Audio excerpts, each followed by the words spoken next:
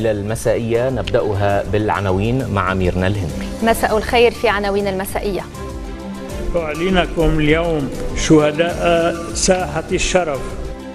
لبنان يودع شهداءه تكريم رسمي في اليرزة وتحية في رياض الصلح وتشييع شعبي في بلداتهم.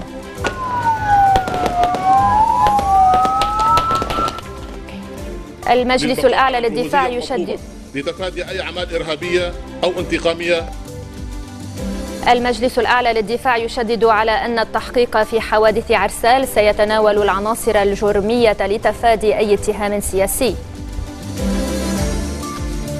البحرين تتهم الدوحة بتصعيد الوضع عسكريا وترامب يؤكد لأمير قطر أهمية تعهدات قمة الرياض.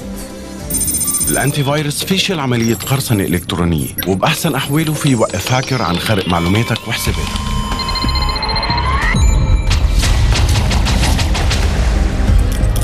بس ما بحياته الانتي فيروس قدر يوقف شبكة ورا الجرائم الإلكترونية. أمنك الشخصي فيك تعمله بس الأمن العام الأمن العام هو بيعمله. اليوم صار فيك تستخدم أي بطاقة مصرفية بمراكز الأمن العام. وتساهم بتحسين الأمن وتطوير الإدارة. الصورة بين اليرز حيث مقر وزارة الدفاع ووسط بيروت حيث خيم الأهالي وجبل لبنان والبقاع والشمال حيث احتضن التراب جثامين العسكريين الشهداء الصورة هذه كانت أبلغ من كل الكلام الذي سطرته عيون الأمهات ووجوه الأطفال وحزن الرجال. مواكب أعراس الشهداء ملأت لبنان فاختلط أبيض العزة والكرامة وأحمر الدم بأسود الحزن والغضب وأهالي الشهداء العسكريين وعائلاتهم طالبوا بالعدالة والمحاسبة. والرؤساء الثلاثة ودعوا الشهداء من اليرز بحضور وزير الدفاع وقائد الجيش وقادة الأجهزة الأمنية والأهالي وسط مراسم تكريمية عسكرية ورسمية. رئيس الجمهورية العماد ميشيل عون قال إن دماءهم أمانة في عنقنا حتى جلاء الحقيقة. ورئيس مجلس الوزراء سعد الحريري أكد أن لا خلفيات انتقامية أو كيدية للتحقيق بل هدفه معرفة حقيقة ما حصل في تلك الفترة ومن غير الجائز استباق نتائجه وتوجيه اتهامات من هنا وهناك واستغلال ذلك في السياسة وعبر وسائل الإعلام. دفن الشهداء وبزغ فجر الدولة التي بدا واضحا أن اللبنانيين يتوقون إليها ويستشهد أبناؤها دفاعا عنها تحت راية علمها وفي صفوف قواتها الشرعية المخولة حصرا الدفاع عن حدودها وسيادتها وأمنها واستقرارها. إذا ودع اللبنانيون شهداءهم في مشهد مهيب. رسم الحزن واللوعة في قرى وبلدات البقاع والشمال والشوف. على الأكتاف حملت النعوش التي غطيت بالعلم اللبناني والورود. على وقع عزف موسيقى الموت وزغاريد النسوة وحرقة الرجال.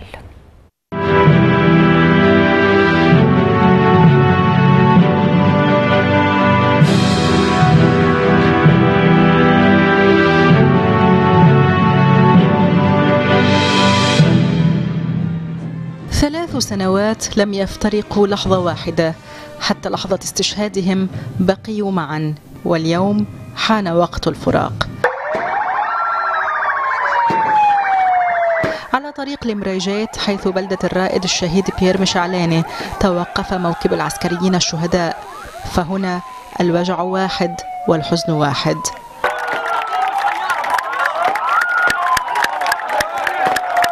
كان يتمنى حسين يوسف أن يرفع هو ابنه حيا على أكتافه لكن يد الإرهاب خطفته منه فرفع هو إلى جانب نعش ابنه الشهيد الذي عاد اليوم للمرة الأخيرة إلى بلدته حيث وري الثرى. لحظات صعبة عاشتها البلدة ورفاق سلاح يوسف الذين غلبتهم الدموع.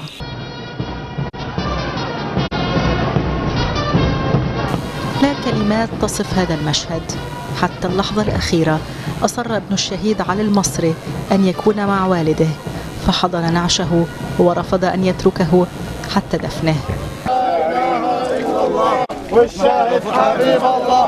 هنا في الفيض حيث شاءت والدة الشهيد عباس مدلج أن تستقبله عريسا فكان ما أرادت. بالورد الأبيض والدموع بدل الزغاريد وصل نعش الشهيد عباس ليدفن في نفس يوم ميلاده. لا تزال شقيقة الشهيد سيف ذبيان تعد الأيام. لا تصدق أن كل لحظات الانتظار وصلت إلى هذه النهاية. فيما كان ابن سيف يبكي ويبحث بين كل هذه الوجوه عن والده الشهيد. بلدة الفنيدق العكارية كان لها الحصة الأكبر. شهيدان من أبنائها هما خالد مقبل حسن وحسين عمار.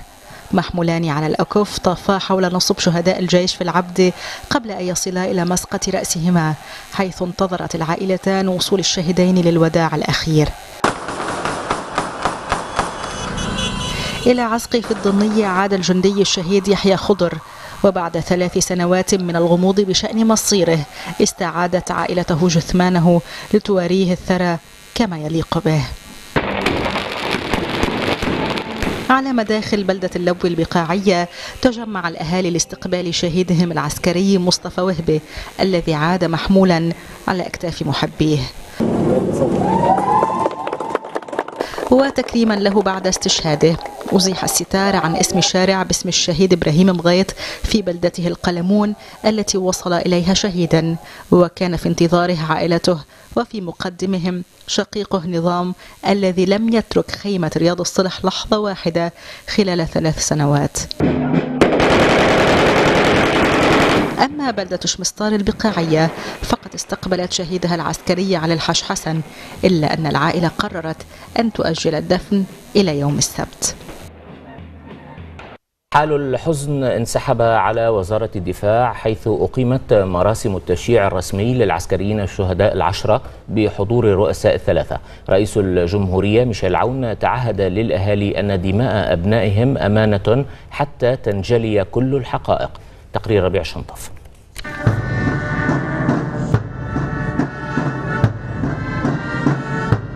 هي لقطات تروي ما يختلج في صدور أهالي العسكريين الشهداء الذين زفوا في وزارة الدفاع. الحزن الممزوج بالفخر لف أرجاء الاحتفال الرسمي الذي أقامته قيادة الجيش في اليرزي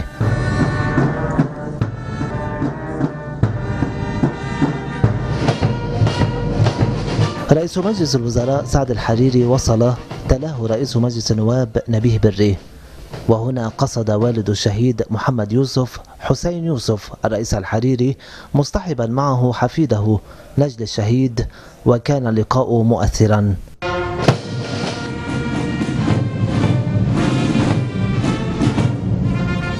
النشيد الوطني عزف بالتزامن مع وصول رئيس الجمهورية ميشيل عون الذي قلد الشهداء أوسمة أسماها بأوسمة المحبة والشكر من جميع اللبنانيين. إليكم يا أفراد عائلات هؤلاء الأبطال وقد رافقناكم بصبركم وإيمانكم وسهركم وألامكم. أقول أن تعزيتكم واجب وهي لا تكفي بل عهدي لكم أن دماء أبنائكم أمانة لدينا حتى تحقيق الأهداف التي استشهدوا من أجلها وجلاء كل الحقائق مصلحة الوطن والشعب والسعي لبناء وطن عصري منفتح وثري بتنوع أبنائه وغنى حضارته تحقيقا لأحلام شبابنا الذين كفروا بالانقسامات والترشح السياسي والمشاكل المتوارثة من جيل إلى جيل. أيها العسكريون الشهداء أعلنكم اليوم شهداء ساحة الشرف.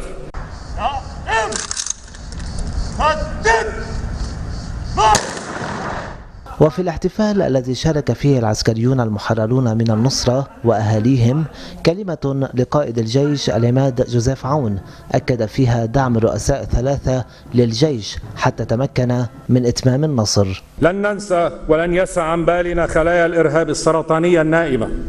التي قد تسعى إلى الانتقام لهزيمتها وطردها بمختلف الأساليب وفي مقدمها أسلوب الذئاب المنفردة وهذا يتطلب منا البقاء متيقظين وحاضرين للتصدي لها والقضاء عليها. عائلات الشهداء الأعزاء أبناؤكم الشهداء شركاء اساسيون في صنع النصر والفخر إنهم أصبحوا أيقونة التحرير ودحر الإرهاب والفخر إنهم سكنوا قلوب اللبنانيين جميعا. فبتضحياتهم خضنا فجر الجرود وتوحد اللبنانيون حول الجيش وقدسيه مهمته. فكانت معركة شريفة ونظيفة وبطولية. لنتذكر شهداءنا. لن ننساهم ابدا. وفي الختام صافح الرئيس عون أهالي العسكريين الشهداء الذين نقلت نعوشهم من المستشفى العسكري في بيروت باتجاه ساحة العلم. هي لحظات مؤثرة وحزينة في وزارة الدفاع. لحظات تستحضر ثلاث سنوات من الانتظار الثقيل وتنبئ بحرقة دائمة للأهالي. من اليرزي ربيع شنطف تلفزيون مستقبل. وأيضا من اليرز إلى ساحة رياض الصلح حضر موكب جثامين الشهداء وأهليهم في نظرة وداع لخيم الاعتصام التي احتضنت قضيتهم على مدى ثلاث سنوات. تقرير ناهد يوسف.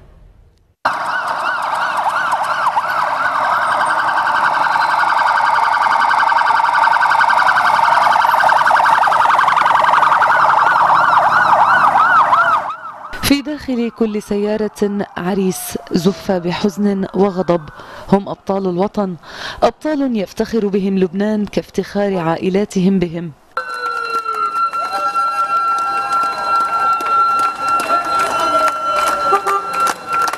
بالزغاريد والتصفيق ونثر الأرز والورود تم استقبالهم. مروا من أمام الخيم التي صرخت باسمهم مودعين. خيم سكنتها أحزان أهاليهم الذين رافقوا جثامين أبنائهم في هذا الموكب المهيب.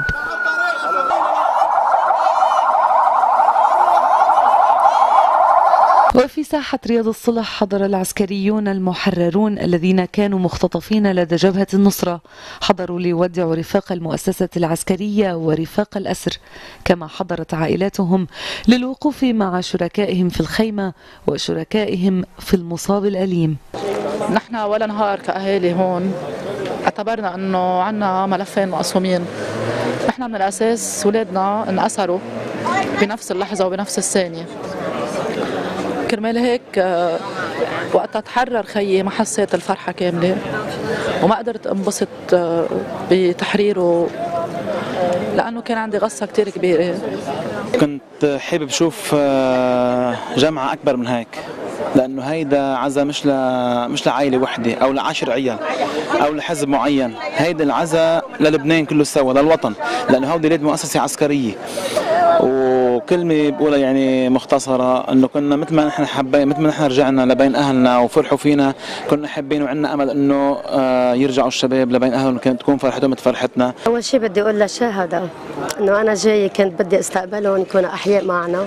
للأسف جايبه ورد ورز ترش عليهم هن ميتين. بس نحن بنفتخر بشهاداتهم. هاو إخواتنا مثل ما هن اولادهم هن اولادنا وهن إخواتنا وبكل أسف إنه وصلنا لهالنتيجة ونستلمهم بهالطريقة هاي. كما حضر أهالي شهداء الجيش اللبناني لاستقبال الجثامين هم من شربوا من كأس الاستشهاد المرة أتوا متضامنين. نحن بنشد عيدهم وبنقول لهم الله يقويكم وتعرفوا الحقيقة من أولها لآخرها حتى تاخذوا حق أولادكم. وتحصلوا حق أولادنا نحن كمان. الدموع واللحظات الصعبة لم تتحملها والدة الشهيد محمد ظاهر الذي استشهد في المعركة التي أسر خلالها العسكريون. أصيبت بالإغماء وعمل الدفاع المدني على إنعاشها. على الجنة حاب الله يتاجر فيني تاجروا فيها. الله يقتلوا اللي قتلوهم الله يقطعهم مثل ما قطعوهم يا رب. يا رب. يا رب يا أمي. يا أمي. لاقي عليهم يا حسن. يا أمي. لاقي على الشباب مثلك هاو راحوا. يا أمي أنت مثلهم يا أمي. راحوا.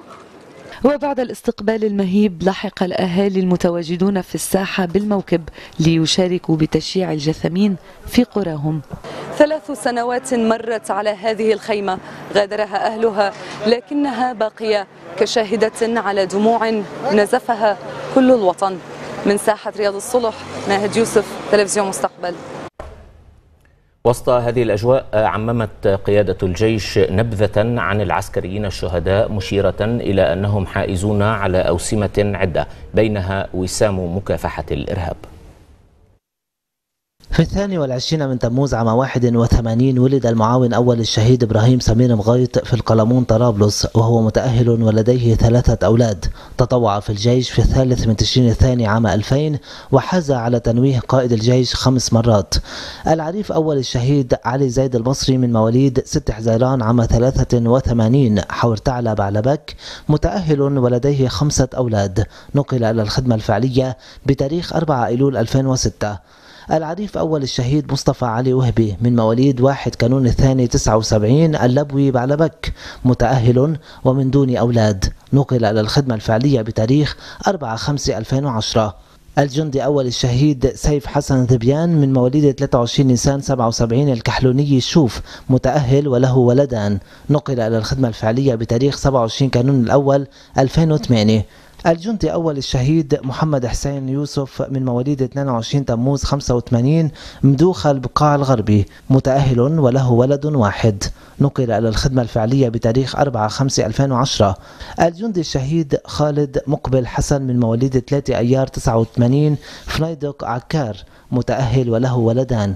نقل إلى الخدمة الفعلية بتاريخ 28 4 2014 الجندي الشهيد حسين محمود عمار من مواليد 10 إيلول 91 فنيدق عكار عازب نقل إلى الخدمة الفعلية بتاريخ 28 4 2014 الجندي الشهيد علي يوسف الحاج حسن من مواليد 5 حزيران 90 شمستار بعلبك عازب نقل إلى الخدمة الفعلية بتاريخ 28 4 2014 الجندي الشهيد عباس علي مدلج من مواليد 7 شباط 1994 الحرفوش بعلبك عازب نقل إلى الخدمة الفعلية بتاريخ 28 4 2014 الجندي الشهيد يحيى محمد علي خضر من مواليد 19 1 93 عزقة الضنية عازب. نقل إلى الخدمة الفعلية بتاريخ 27 7 2015 وفي موازاة التشييع الرسمي والشعبي للشهداء انعقد المجلس الأعلى للدفاع في قصر بعبدة وانتهى بإصدار مقررات أبرزها. التصدي للأعمال الإجرامية والإرهابية وتشديد على أن التحقيق في حوادث عرسال سيتناول العناصر الجرمية لتفادي أي اتهام سياسي. تقرير شهير إدريس. ما إن انتهت مراسم تكريم العسكريين الشهداء في وزارة الدفاع عاد رئيس الجمهورية ميشيل عون إلى قصر بعبدة ليترأس اجتماع المجلس الأعلى للدفاع الذي استهل بالوقوف دقيقة صمت عن أرواح شهداء الجيش. واستحوذ موضوع التحقيقات بشأن ما حصل في عرسال عام 2014 على وقت كبير من الاجتماع لأن هذا الأمر يريح قلوب أهالي العسكريين الشهداء الذين من حقهم أن يعرفوا كيف ولماذا استشهد أبنائهم رئيس الجمهورية نوه بإنجازات الجيش وشدد على ضرورة عدم مقاربة ما حصل من زاوية سياسية لا سيما وأن بعض ما قيل خلال مرحلة التحرير وما بعدها كانت له أبعادا سياسية بقصد التقليل من أهمية الإنجاز الذي حققه الجيش مؤكدا أن التحقيقات التي ستجري هدفها وضع حد لما يصدر من مواقف واجتهادات وتحليلات لا سيما وأن التحقيق سوف يحدد المسؤوليات وفقا للأصول. وأشار الرئيس عون إلى أن القضاء سوف يأخذ مجراه كي لا يدان بريء أو يبرأ متهم. بدوره أكد رئيس مجلس الوزراء سعد الحريري على أهمية الإنجاز الذي حققه الجيش وقال لقد انتصرنا لكن من المؤسف أننا لا نعرف كيف نتفق على هذا الانتصار وكأن البعض كان يريدنا أن نخسر. واعتبر أن التحقيق الذي طلب الرئيس عون إجراءه لا خلفيات انتقامية أو كيدية له بل يهدف إلى معرفة حقيقة ما حصل في تلك الفترة لافتا إلى أنه من غير الجائز استباق نتائجه وتوجيه اتهامات من هنا وهناك واستغلال ذلك في السياسة وعبر وسائل الإعلام. وشدد الرئيس الحريري على ضرورة قيام المؤسسات الأمنية بواجبها في حماية الوطن وتوفير الإمكانات اللازمة لذلك مثنيا على ما قام به وزير الدفاع وقائد الجيش والضباط والعسكريين. وقال من حق اللبنانيين أن يرفعوا رأسهم عاليا فيما حققه جيشهم والانحناء أمام تضحيات شهدائهم. وما حصل اليوم من تكريم لجثامين هؤلاء هو محطة وفاء وإكبار والمطلوب اليوم الالتفاف حول الجيش ودعمه والتضامن التضامن معه. وتداول المجتمعون في جملة قضايا تتعلق بالأوضاع الأمنية في البلاد وكيفية حماية الحدود عقب استرجاعها من أيدي الإرهابيين إضافة إلى وضع المخيمات والخلايا الإرهابية النائمة والخرق الإسرائيلي بقصف مناطق في سوريا من لبنان والذي اعتبر لأول مرة بغير المسبوق. وتم تكليف قيادة الجيش اتخاذ التدابير اللازمة لانتشار أفواج الحدود البرية ورفع الاقتراحات لتأمين جميع المستلزمات العسكرية واللوجستية بأقرب وقت ممكن. كما تم عرض الأوضاع الأمنية وأعطيت التوجيهات للأجهزة الأمنية للبقاء على الجهوزية المطلوبة لتفادي أي أعمال إرهابية أو انتقامية تزعزع الاستقرار العام. وتم تكليف وزير الخارجية والمغتربين تقديم شكوى إلى مجلس الأمن بسبب خرق واستعمال العدو الإسرائيلي الأجواء اللبنانية لقصف الأراضي السورية. وأعطى الرئيس عون والرئيس الحريري التوجيهات اللازمة لوزيري الدفاع والداخلية للتقيد بالمعايير عند رفع طلبات تطويع تلامذة ضباط إلى مجلس الوزراء واحترام الكفاءة والأنظمة المرعية الإجراء عند وضع جداول الترقية الدورية للضباط. وتزامنا مع مراسم تشييع الشهداء العسكريين وعملا بالمذكرة الصادرة عن رئاسة مجلس الوزراء والتي أعلنت الحداد العام نكست الأعلام على المؤسسات والمقرات الرسمية من القصر الجمهوري في بعبدة والسراي الحكومي ومجلس النواب. كما شاركت بعض السفارات ومنها الأمريكية والبريطانية والفرنسية في يوم الحداد الوطني ونكست أعلامها تضامنا مع لبنان وعسكريه الشهداء. كما توقف العمل في المؤسسات الرسمية والخاصة وأغلقت المحال التجارية.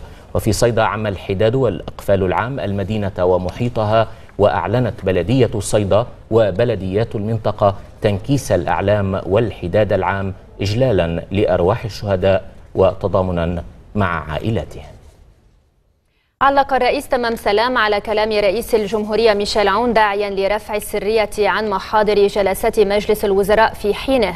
وقال من حق اللبنانيين معرفة من أيد التفاوض مع الإرهابيين الخاطفين ولماذا؟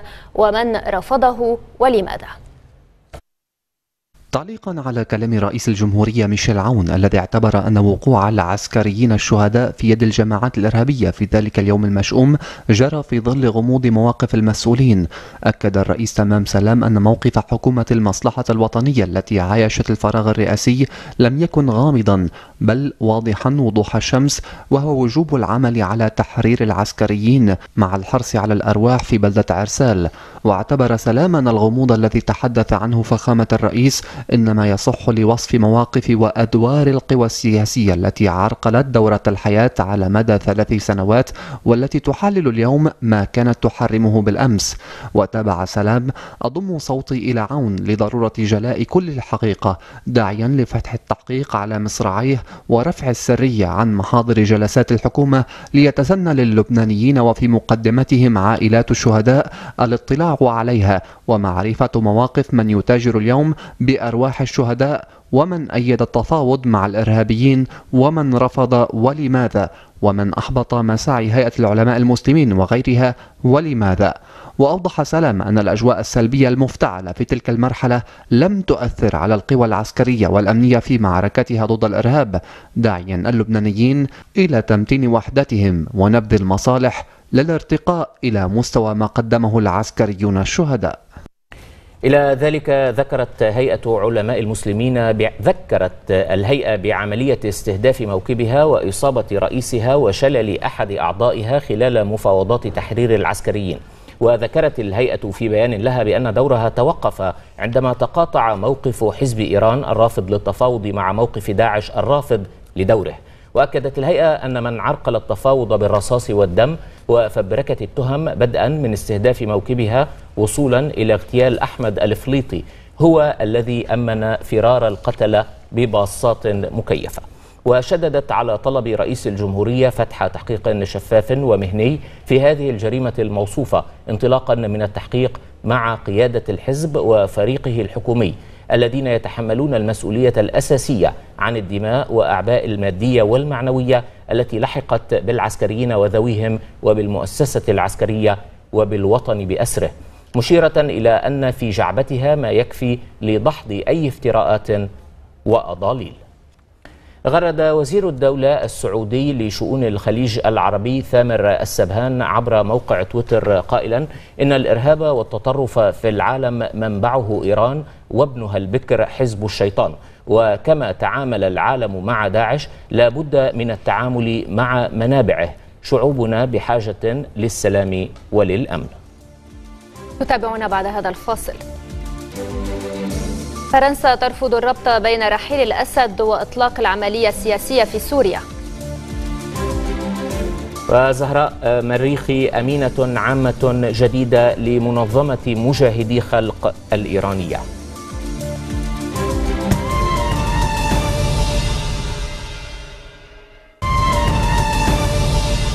أهلا بكم من جديد. أكدت البحرين أن الدول الأربع الداعية لمكافحة الإرهاب لم ولن تسعى لأي تهديد عسكري متهمة الدوحة بتصعيد الوضع عسكريا. أما الخارجية القطرية فاعتبرت أن القول بمواف بموافقة قطر على المطالب الثلاثة عشر هو اجتزاء لتصريحات أمير الكويت الذي أكد عدم قبول المطالب التي تمس السيادة. تزامنا أكد الرئيس الأمريكي دونالد ترامب لأمير قطر الشيخ تميم بن حمد الثاني أهمية الالتزام بمقررات قمة الرياض. بعد ساعات على تصريحات أمير الكويت الشيخ صباح الأحمد الجابر الصباح من واشنطن أكد وزير خارجية البحرين الشيخ خالد بن أحمد الخليفة أن الدول الأربع الداعية لمكافحة الإرهاب لم ولن تسعى لتهديد قطر عسكريا إلا أنها لن تسمح لأي طرف كبر أو صغر شأنه بتهديد أمن شعوبها واستقرارها. وفي سلسلة تغريدات على موقع تويتر قال إن أمير الكويت تكلم من قلبه بما نطمح إليه من استقرار للمنطقة وهو يعلم يعلم أن التصعيد العسكري لم يأتي من الدول التي قاطعت قطر. وتابع وزير خارجية البحرين ما أن انتهى أمير الكويت من مؤتمره الصحفي حتى رأينا سلبية الموقف القطري بوضع الشروط والعراقيل أمام أي حوار يلبي مطالب الدول الداعية لمكافحة الإرهاب مضيفا أنه فيما أوصلت دولنا أبوابها في وجه شر الإرهاب المستطير والأذى الآتي من قطر فتحت هي أبوابها للجنود والآليات في تصعيد خطير. وكانت السعودية والبحرين والإمارات ومصر أكدت أن الحوار بشأن تنفيذ قطر للمطالب الثلاثة عشر يجب ألا تسبقه أي شروط. مبدية أسفها لما قاله أمير الكويت عن نجاح الوساطة الكويتية بوقف التدخل العسكري لأن هذا الخيار غير مطروح إطلاقا. دولة الكويت أعربت عن تقديرها لبيان الرباعي العربي والذي يعكس الحرص على إنهاء الخلاف مؤكدة موقفها المبدئي. الهادف إلى التهدئة بدلا من التصعيد وإلى الحوار البناء بدلا من القطيعة.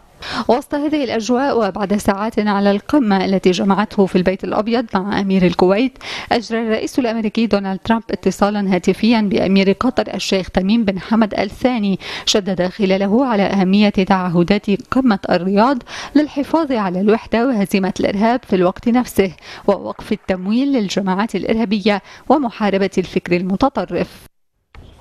وعلى هامش زيارة أمير الكويت إلى واشنطن استقبل وزير الخارجية الأمريكية ريكس تيلرسون نظيره الكويتي الشيخ صباح الخالد الحمد الصباح وأكد أمامه أن الولايات المتحدة تواصل مساعدة الكويت في حل الأزمة الخليجية. أضاف تيلرسون أن البلدين اتفقا على تعزيز التعاون الأمني بينهما وتبادل المعلومات في مجال مكافحة الإرهاب. أعلن وزير الخارجية الروسية سيرجي لافروف أن الجولة السابعة من محادثات أستانا ستعقد في الثالث عشر والخامس عشر من أيلول الجاري. وفي مؤتمر صحفي مشترك مع نظيره الفرنسي جان إيف لودريان في موسكو أضاف لافروف أن بلاده تسعى لحوار مباشر وشامل بين المعارضة والنظام في جنيف وتريد ضم إدلب في القريب العاجل إلى مناطق خفض التوتر.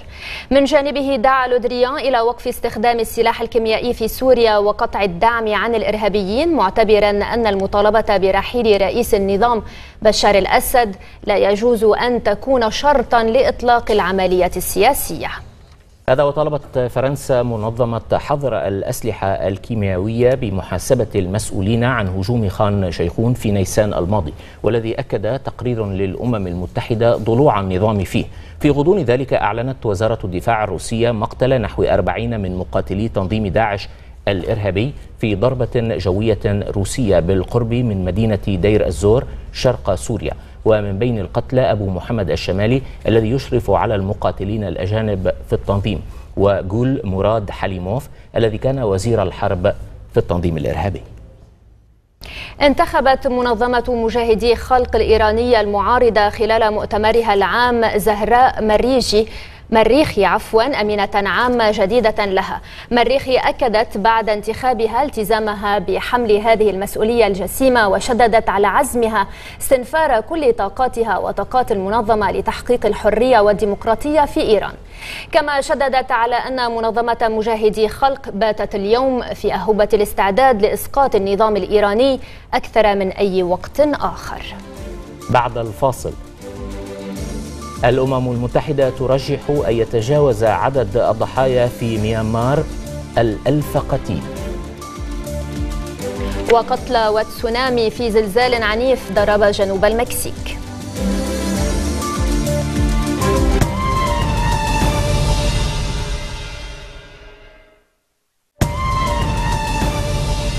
أعلنت مقررة الأمم المتحدة الخاصة لحقوق الإنسان في ميانمار أن عدد ضحايا أعمال العنف في ولاية راخين قد يتجاوز ألف قتيل أي أكثر من الأرقام الحكومية بمرتين.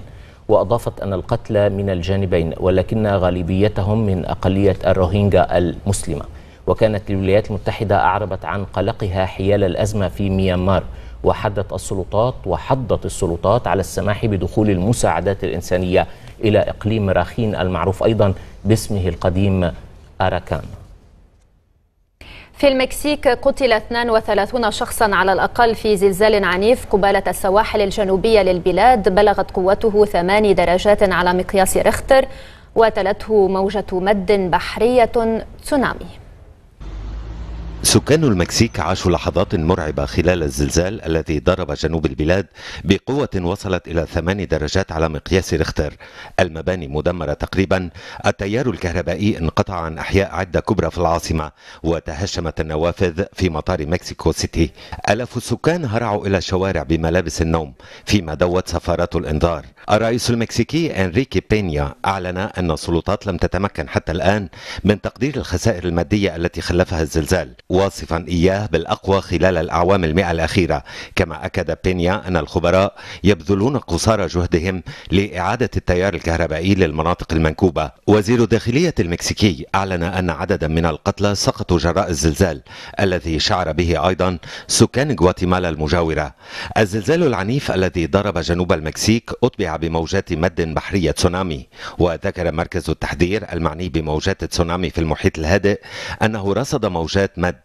لكن لم يصدر أي تحذير بالنسبة لجزيرتي ساموا وهاواي الأمريكيتين.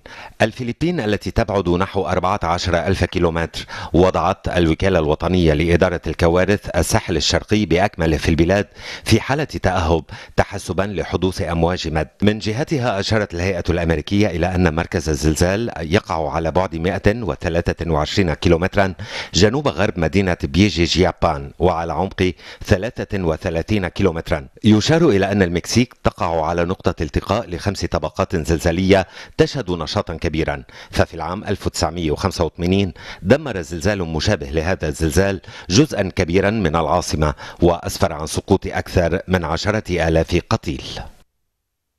أجلت السلطات الكوبية عشرة ألاف سائح من منتجعاتها الساحلية ورفعت إنذار الكوارث إلى أقصى درجاته مع اقتراب الإعصار إيرما بسرعة كبيرة من كوبا أكبر جزر منطقة البحر الكاريبي.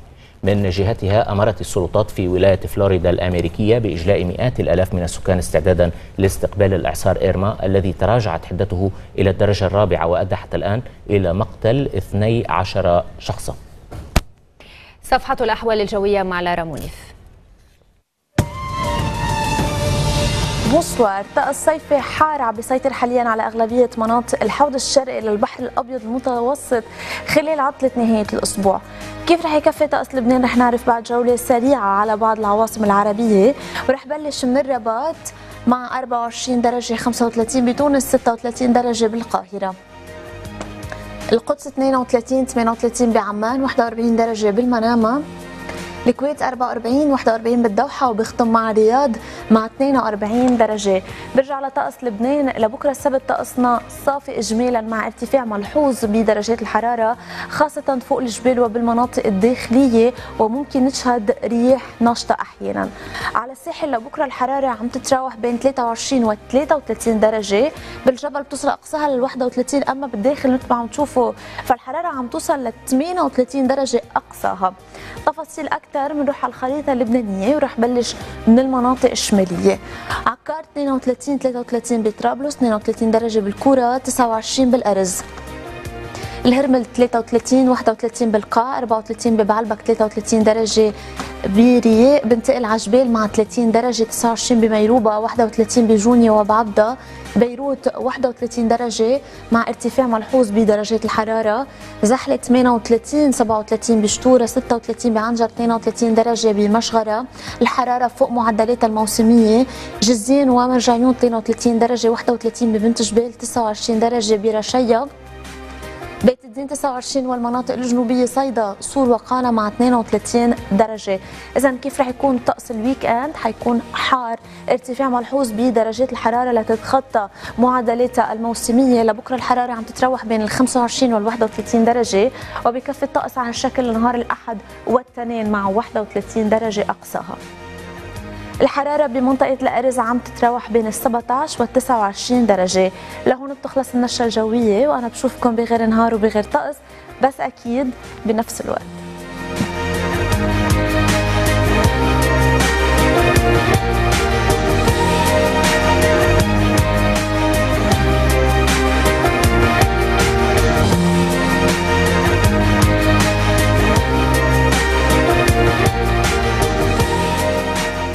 وفي دي إن اي بعد النشرة يتناول نديم قطيش حملة الأكاذيب التي رافقت استعادة جثامين شهداء الجيش اللبناني وقبل ذلك تذكير بعناوين المسائية أعلنكم اليوم شهداء ساحة الشرف. لبنان يودع شهداءه تكريم رسمي في اليرزي تحية في رياض الصلح تشييع شعبي في بلدته.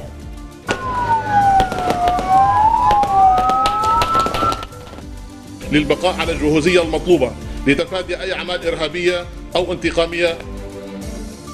والمجلس الأعلى للدفاع يشدد على أن التحقيق في حوادث عرسال سيتناول العناصر الجرمية لتفادي أي اتهام سياسي. البحرين تتهم الدوحة بتصعيد الوضع عسكريا. ترامب يؤكد لأمير قطر أهمية تعهدات قمة الرياض. نهاية النشرة. شكرا للمتابعة وإلى اللقاء. إلى اللقاء. الشيخ